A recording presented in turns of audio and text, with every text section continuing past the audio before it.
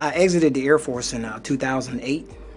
And um, you know how they do the, the closing physical before you leave to make sure everything is okay, just like you were when you came in. They want to make sure you're fit to exit.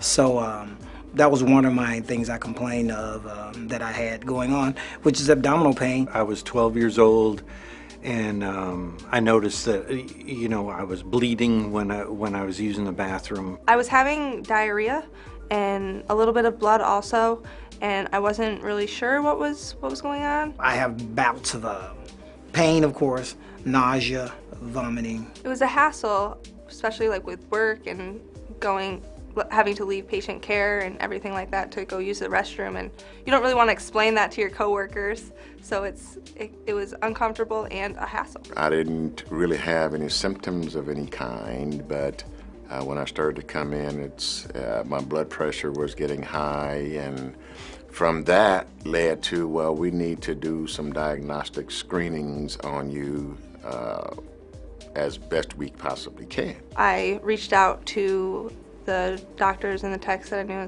and got an appointment. My parents were concerned. We went to see the doctor. Because I had worked in the GI clinic, you see a lot of scary things in people my age, like young people. So when I saw blood in my own stool, I knew it was important to go check it out at least.